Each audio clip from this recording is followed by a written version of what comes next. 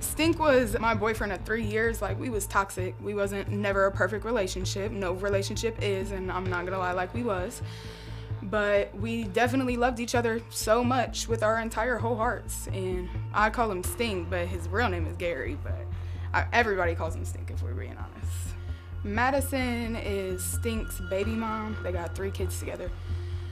And we never really got along. Me and Madison, we always when Stink was alive, me and her would bicker back and forth. You feel me? That's that's what we did. That's what Stink made us do, really, because he couldn't choose. Like, he, if we, one of us would break up with him, he, that's he was, you know what I'm saying. The other door was probably open, and it just caused drama between me and Madison. So me and Madison never really got along ever a day in our life on September 23rd, um, when we woke up for work that morning, the night before we had got into a big old fight.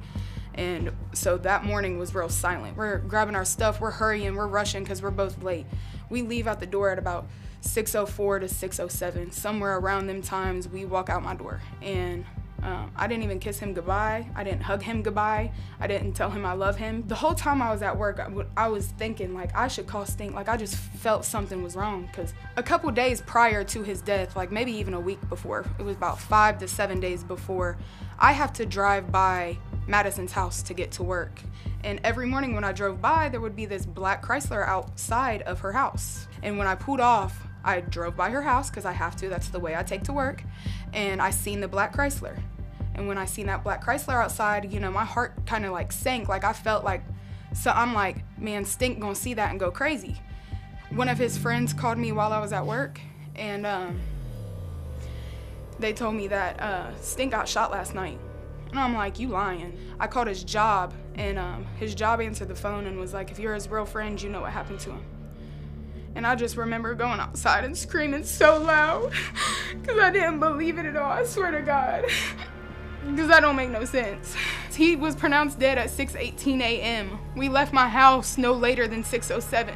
So I, I estimate, I guesstimate at 6.05 a.m. we left my house. That was 13 minutes and his life was gone. I heard a couple different stories on what happened that morning. Um, but the main story that's going around is that when he pulled up to Madison's house, he went inside. He was calling her phone, telling her, I'm gonna come inside and I'm gonna kill you both. She was inside laying in her bed naked with her boyfriend or her, the guy she was messing with. When he went inside the house, he went up the stairs and he he busted in the bedroom door and he started shooting just everywhere. Bullets started flying, is what the story is. Madison was in the closet at this point, I guess. She had time to get dressed because she was naked. She had time to get dressed and put herself in the closet and hide herself and the kid. I'm not sure how the guy she was with got a gun. I'm not sure if it was hers because it was sitting on the bedstand and she does have a gun that she keeps on the bedstand. So I think it was her gun that he used to kill Stink somehow in between the times of Stink being able to shoot off his entire gun, the every single bullet in his gun, that guy was able to pick up the gun on the bedside table and shoot Stink back and kill him with one bullet. One bullet. And it doesn't make sense because if Stink busted in the door while he did it, so he would have been at the top of the stairs, he would have got shot while was still in bed. But that's not what happened. Stink was found at the bottom of the stairs in a pool of blood, and she took a picture of the blood that he was laying in. She didn't even call 911 until 30 minutes go by. And the fire station is four houses down from her house. She called his family first and told his family what happened and the guy who shot Stink and killed him was still inside the house when the family arrived. He was walking in and out of the house like he owned it, like he was comfortable there. And apparently he got shot in the arm, but didn't nobody go to the hospital. Madison is going around saying that I somehow I had time to pull up to Madison's house, see that black Chrysler outside, take a picture, send it to Stink, call Stink, let him know that somebody is outside of his baby mom's, and drive off before he got there there's a lot of parts of the story that don't make sense and the only person who's gonna make them make sense is Madison because she's the only one who knows. What is your relationship with Gracie? Honestly, she was just a side bitch. She was just for for Gary. Yes. Also, AKA Stink. Yes. Okay. It was multiple of them. It wasn't even just her. It was multiple multiple of them. But, but were you? But you knew you weren't one on one with Gary. I, I, yeah, me and him wasn't together at that time. But you had a, a child with him. I have three children with him. Yes, I was Yeah. with him for nine years. Yeah. And you would continually sleep with him. Yes, Yeah. Why'd I'm just curious, why, why would you do that? I wanted my family. I wanted to work things out. Even though you knew he was sleeping with various other women. All right. So then, but you knew Gracie was in the picture. Yeah. Uh, how'd you know about that? Uh, first found out about Gracie when I, ha- I was in the hospital with my last child. She it was about two and a half years ago, and when I had her, she ended up having to go to the NICU. She almost died, and one of my neighbors texted me and was like. Um, I got ju- I got tea for you. I was like, what? She was like, uh, your baby dad's in the house with another female. Sent me pictures of the of the car. While So you're in the hospital almost dying. With my daughter's almost dying. Right.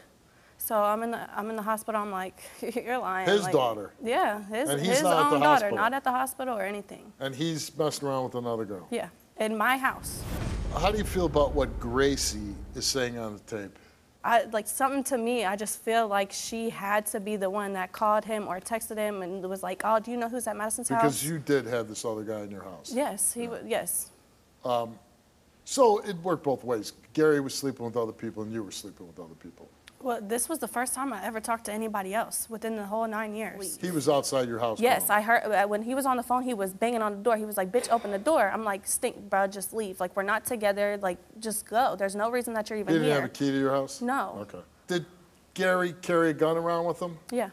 And was it your gun that the dude had or he had his own No, gun? he had his own gun. His so own when gun. I hung up the phone, I was like, I got, I instantly got up. First of all, I was not naked in my bed. I had a little robe thing on, so I got up and I just went right over to my closet. By the time I, I opened my closet and opened one of my drawers, I have like a little walk-in closet. So I opened up the drawer, and all I hear is boom, boom, boom, boom, boom, boom, boom, boom. So you're in a closet I'm in the closet trying to find and clothes. then out in the bedroom you hear gun spraying. Yes, and I'm in the closet. I'm literally covering my ears. I'm like, stop, stop, stop. Then I was thinking, like, my daughter, like, uh, like what's going on? Like Yeah. my daughter. So Should- my how old first is your daughter at the time? two. And she's like sleeping at six in the morning, right? Yep. Okay. So y- your baby's in the house, his baby, and he's just shooting up the house with because there's a guy laying in the bed. Now is he shooting at the guy or is he just spraying everything? The way the bullets looked, it it was just everywhere, literally everywhere. And But then, he's like, trying to hit the other Mm-hmm. dude, right? So when I was in the closet and I heard that, I was like crouched down. I was covering my ears. I'm like, stop, stop. And then I seen the dude on the floor as, as I'm walking out. And I didn't see Gary. I thought Gary ran. I thought he hit him and I thought he ran. So I went to my daughter to check on her. I looked at her. She was like, I was like, okay, she's fine. I'm calling uh, his family. I was like, he just, You didn't call police. I didn't know what to do. I called his family. I was like, he just broke into my Okay, house. da." again, what the is going on here? I mean, who's first on scene? Police, Gary's family, firemen, who? His family was the first one. So the, And where's dude? that's the crazy thing because in the midst That's of the me. crazy thing. No, in the midst of me calling the cops and dealing with it, he ran downstairs, ran outside, left. When Harry's mom got there, he comes back in the house and runs back upstairs. So Why? You never asked him? no, I blocked the guy on everything afterwards because my my children's father is dead now. Like I don't But care. it's not, it's not his fault.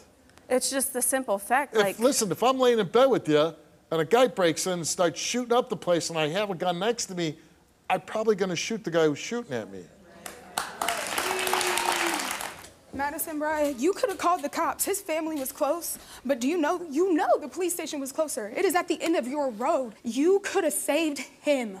That morning, did you drive by her house? Yes. Did you see the car? Yes. Okay, but you didn't No. call Stink? No. You didn't say, hey, No. the dude's there? My last words to Stink when we walked out the house because we were supposed to go to a haunted house on Saturday night because we got into a fight the night before. It was a real bad fight.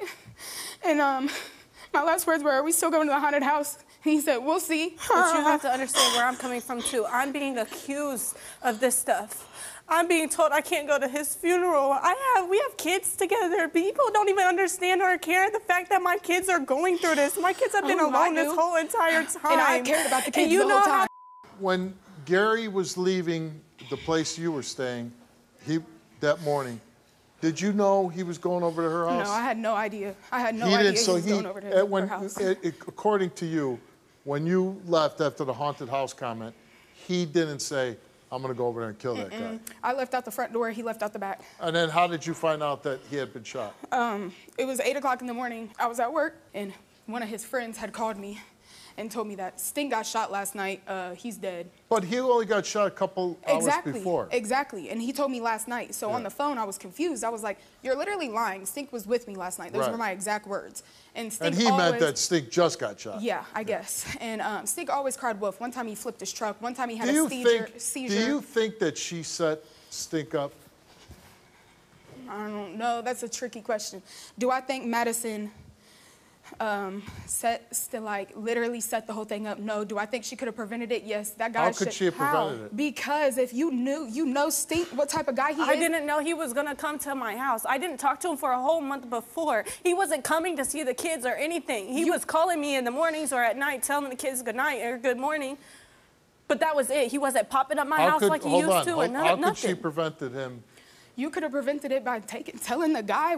First of all, either way it went, you was setting somebody up low key because you didn't even wake the guy up and let him know Stink coming in there to he kill was him. up. The other dude was oh, up. so he was up. So he was awake. So he Yeah. heard Stink banging on the door. Yes. So he was waiting at the top of the stairs. That's why Stink got shot in the No. back.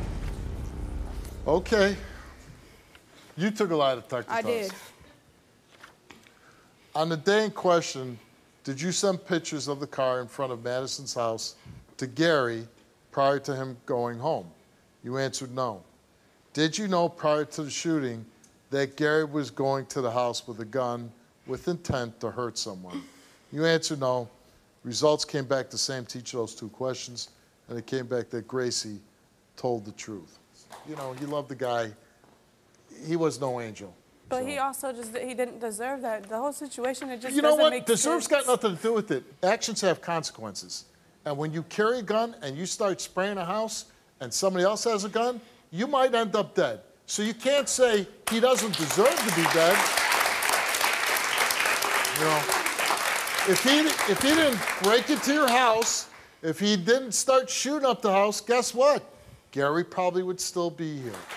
Madison, you came here, took a lie detector test, and we asked you, did you shoot Gary causing his death? You answered no.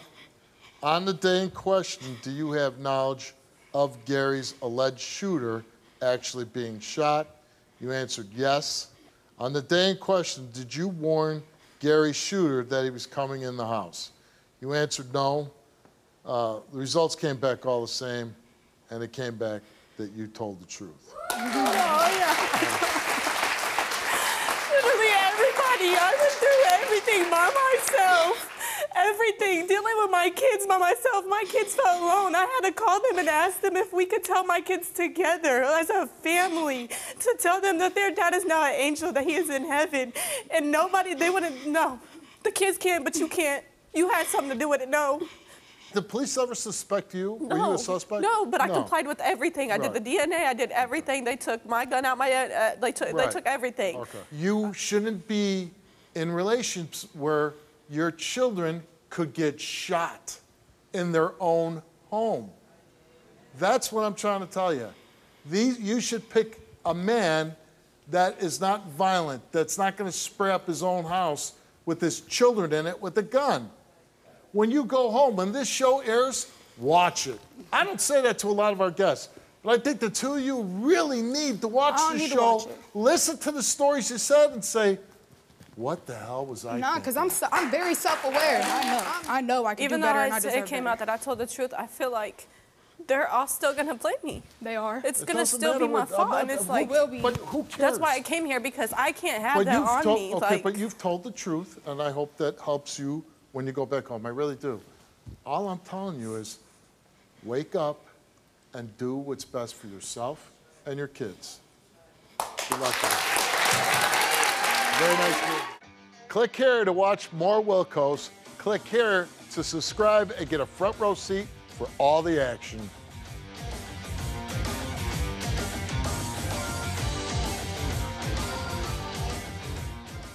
Can you relate to this story? Go to www.stevewilkos.com to get my help.